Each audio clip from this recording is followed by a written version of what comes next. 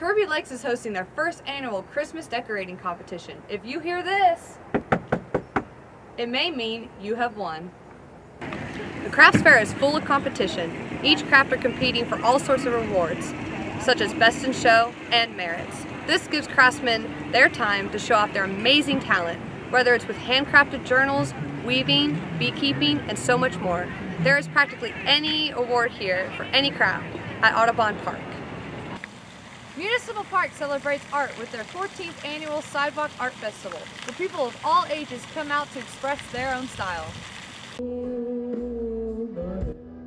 The Left Bank Festival in West Memphis, Arkansas honors legendary R&B artist Willie Mitchell.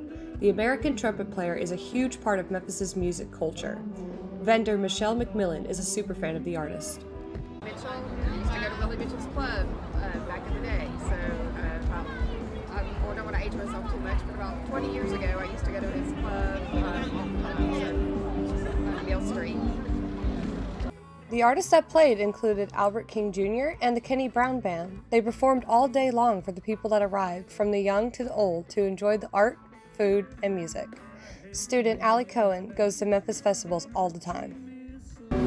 It's a Memphis Music Festival. You go to Memphis Music Festivals to, for good Memphis music and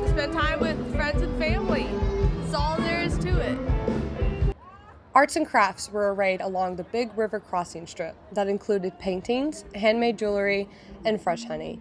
The catfish contest offered delicious plates to the public to enjoy and pick their favorite one. Even if you didn't treat yourself to the extra entertainment and just came for the music, it still brought everyone together. You know, something about when you to the music in the background, like it just kind of makes everything a party. It's just like really fun and it's something that both Memphis and West Memphis, Arkansas have in common is the, our shared uh, love for music. With the new and fresh artists coming every year to perform, the festival can only get bigger. West Memphis, Arkansas doesn't seem to be slowing down anytime soon with their take on what iconic Memphis music is all about. Reporting for JRSM 4629, I'm Vanessa Baron. Crosstown Concourse celebrates unique art with their fifth annual Crafts and Drafts Festival. Many people gather in Midtown to look, buy, and enjoy what artists love to do, and with each tent comes its own story. Angie Howard uses her art as a therapy. Um, it is just something wonderful to sit down and to do one dot at a time. And you can meditate, you can pray, you can just forget everything and only concentrate on where the next dot is going. With all the activity outside, it doesn't stop there. This festival takes itself to the indoors too offering more food, drinks, and crafts to the public.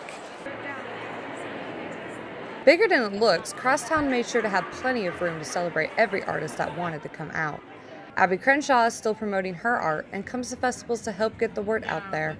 So I started making these illustrations because I wanted to make playful art and just kind of make what excited me. A DJ was outside letting people unwind and dance, while food was indoors, letting the festival spread out and have everyone enjoy the sense of community. I made a lot of things that I wanted people to be able to relate to, but a lot of people, so that's why I do the animals that are kind of existential feeling, but it's not like a specific person because different people can relate to the different things that the animals are experiencing. They may have only been around for five years, but this festival seems like it'll become a yearly event. Reporting for JRSM 4629, I'm Vanessa Baron.